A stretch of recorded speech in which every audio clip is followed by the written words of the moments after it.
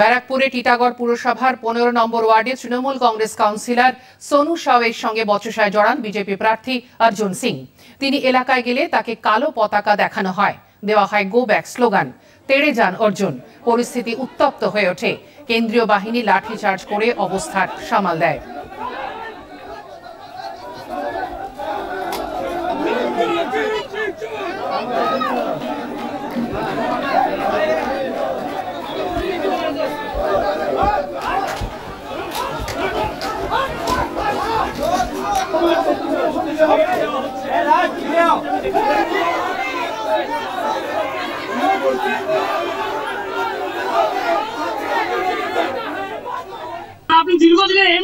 আপনি আসার পরে গোবে কালো কথা তার মানে মমতা ব্যানার্জি দিওয়ালিয়া হয়ে গেছে। তার দলের লোকরা দিওয়ালিয়া হয়ে গেছে।